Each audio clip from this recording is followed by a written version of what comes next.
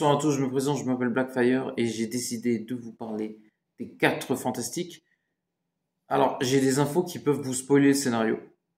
Donc, si vous voulez ne pas regarder et euh, passer votre chemin et vous n'êtes pas curieux de l'histoire, vous pouvez vous en aller. Mais de source sûre, je connais le début de l'histoire, euh, en quelle année ça se passe et la fin du film. Donc, encore une fois, si vous voulez partir, vous pouvez partir. Ceux qui veulent en rester, voilà, vous êtes prévenus. Alors, la première partie de l'histoire pourrait euh, se passer en 1961, où en fait à ce moment-là, bah, les quatre fantastiques ont, eu leur pouvoir, ou ont déjà vu leur pouvoir, parce que le film en fait se passe entre 61 et 63. Donc les quatre fantastiques, euh, voilà, ça se passe par le, euh, comment dire, par le fait que justement ils ont, ils ont déjà eu leur pouvoir à travers une mission spatiale, comme vous avez déjà vu, donc rien de révolutionnaire, et on pourrait voir Galactus détruire une planète je sais pas laquelle, mais ce serait le début du film où Galactus pourrait détruire une planète.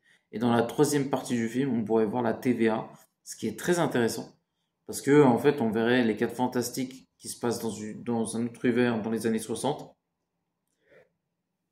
Un, euh, dans, dans, le MCU, donc ça pourrait être très intéressant à regarder. Et euh, voilà, donc les quatre fantastiques pourraient affronter euh, euh, voilà, Galactus, Doctor Doom pourrait arriver à la fin du film, il y aura le surfeur d'argent. Et voilà, le, en gros, le début du film, ce serait Galactus qui détruit une planète. Et euh, de ce que j'ai compris du film, ça pourrait se passer entre.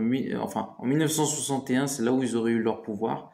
Et le film se passerait en 1963. C'est assez marrant parce que si on fait un parallèle, les X-Men First Class, ça a commencé aussi à peu près à cette époque-là. Ce qui est une bonne époque c'est intéressant à voir en tout cas euh, visuellement et au cinéma. Donc c'est plutôt une bonne idée de voir les 4 fantastiques, un peu comme dans les bouquins dans les années 60. Et puis le casting est bien, en plus on pourrait voir Galactus, le surfeur d'argent, Doctor Doom à la fin, et peut-être euh, un ou deux méchants. Donc euh, voilà, c'est ce que j'avais dire sur les 4 fantastiques. Donc n'oubliez pas de commenter, liker la vidéo et à la prochaine. Ciao tout le monde.